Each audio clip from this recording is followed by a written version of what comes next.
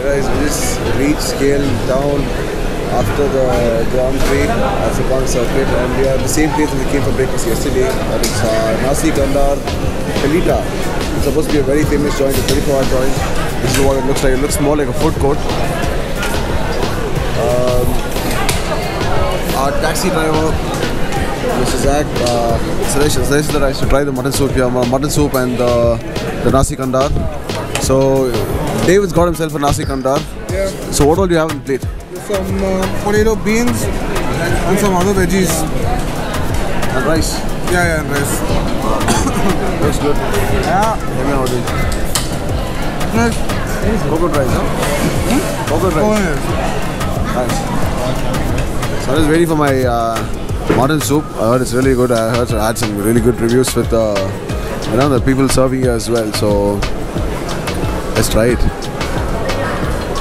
So we have the mutton soup here as suggested by the driver. So let's just give it a try. Franklin already says that it, it tastes really good.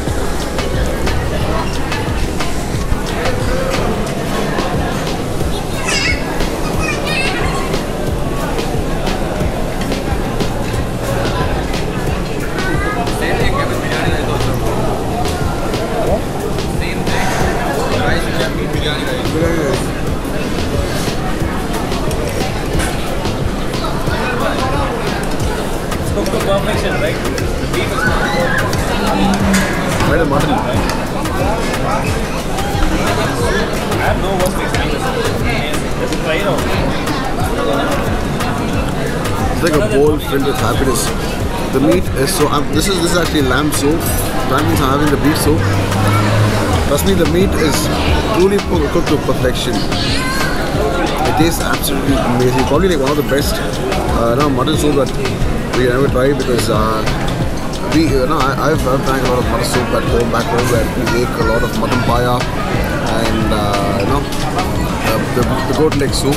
But this is like nothing like it. This is totally different and it's so flavorful and so good. And it's probably like the first. It's not nalli. Nalli is This is proper meat. Nalli, nalli is like the, the marrow, the bone marrow. bone marrow. There's nothing like I've ever tasted before. It tastes amazing. So we're going to try some nasi kandar where you have typical coconut rice, Malaysian coconut rice and a bunch of honest, I don't know things here. start from. I really don't know where to start So you get to choose from a variety of meat and seafood and some kick-ass gravies. You top it up with the rice and everything. You can see one being made right there. A couple of them being made right there. Lobster, I guess it's lobster. It's crab. It's a crab, oh. Squid. Squid, Amari. It's chicken. chicken, narang, narang, fish.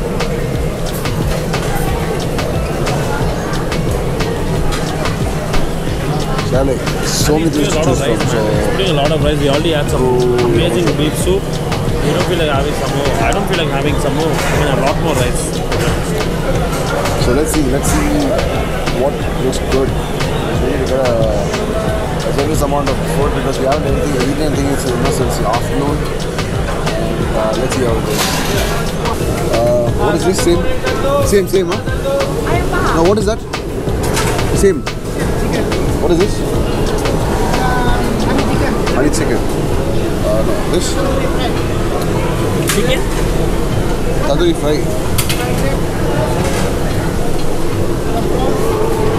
No, give me some, uh, what is that, crab? Crab gravy? Yeah, next to that? Squid, squid. Okay, yeah, give me some squid. Calamari.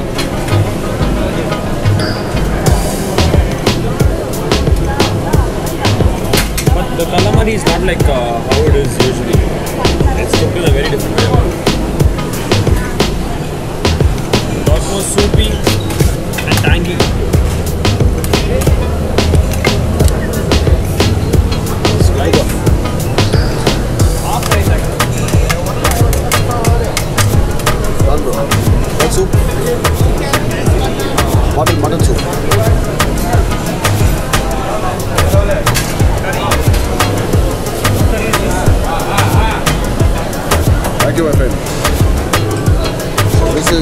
nasi kandar.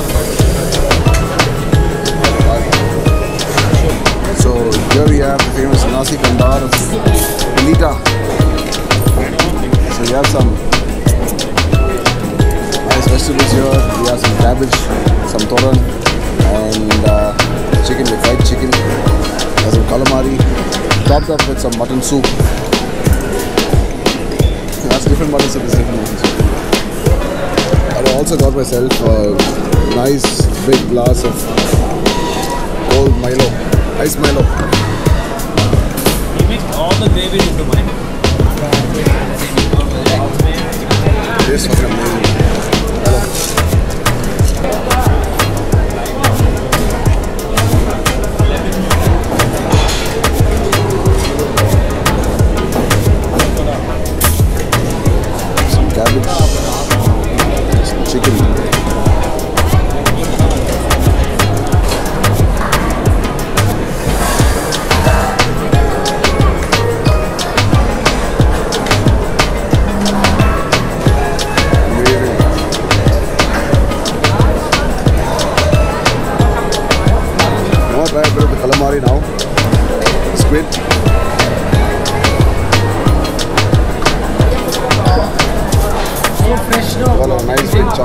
Chunk. Got some energy.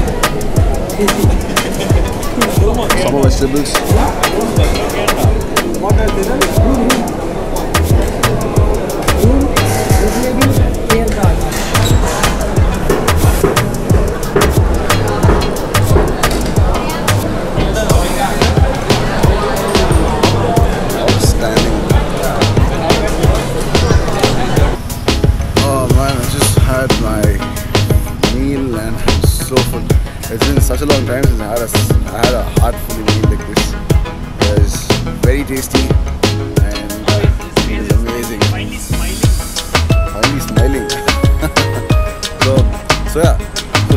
Tonight is our last night in Malaysia in Kuala Lumpur. Tomorrow we are heading to a new destination, a different country, a new country where we haven't been before. So that's pretty close to Malaysia. So I, I, I so I can guess, you know, take a guess. You, know, can, you can probably mention it down in the comment section below uh, as to where we are heading to next. Or you, you all might see it in my on my Instagram if you're following me. So uh, do follow me on my Instagram. My profile, uh, the profile link will be given down in the description box below, and I'll also try mentioning the name of my profile on the screen itself. So do follow me if you want to know where I'm heading to next. Where we're heading to next. Twin Towers. Twin Towers. So, what a beautiful day. Very tiring day. We haven't slept at all. We had, uh, we're just walking around with about one and a half hours of sleep. I'm sorry if you know I'm not giving you my best. I'm trying to give you as much as I can. We are trying to give you, not give you all as much as we can. I swear, So- man, we're like really exhausted after Trust the me, I can just stand and doze off day like that. of watching the race, and we had an amazing time. The experience of watching the watching the Moto was MotoGP is absolutely absolutely stunning. You know, it's, sensational. it's, it's nothing like you never compare to. It's nothing like you know you I know that we've ever experienced. It's probably like a- once in a lifetime experience. That's, that's how I would consider it, consider it. I don't know about the rest of them because I would definitely want to go and watch it again. are, right? But but this is like the first time. It'll always be the, no, the most special time because uh, we saw the person who we've idled, you know, who, who we have literally idled in terms For of years, uh, for you know, together. in terms of racing and in terms of you know uh, riding a motorcycle. That's Valentino Rossi. We got to see him directly in front of us, and that's the that's the number there. 46. We are 46. We are 46. So that's where we are at. That's where you know. That, that's, finished fourth that was the best thing. it doesn't matter if he day. if he didn't make it to the top three. Also, you He had know, a good day. He had a good day because you know he gave a really good competition to you know the fellow riders. And all the other riders. And everyone, trust me, his experience is what really talks. No matter how old he turns, no matter how You could see also, also yeah. good competition. no matter no matter how old he gets or no matter how you know uh, you know people, people might say that he's you know he's, uh, very close to his retirement and all that but trust me his level of Still trying to- enthusiasm his I know his his rush and uh, his, his skill in riding the motorcycle is absolutely beyond anything else it's beyond anyone else who's on the track you know then and there so we had a really good time there we had a ball of a time watching the MotoGP really glad that we got to do so so we're gonna quickly end this video right now. We're gonna end this vlog right now and uh, take you to the, to the next country. We're gonna start our journey in the next video. So stay tuned. Do watch the videos. Do like, share, and subscribe.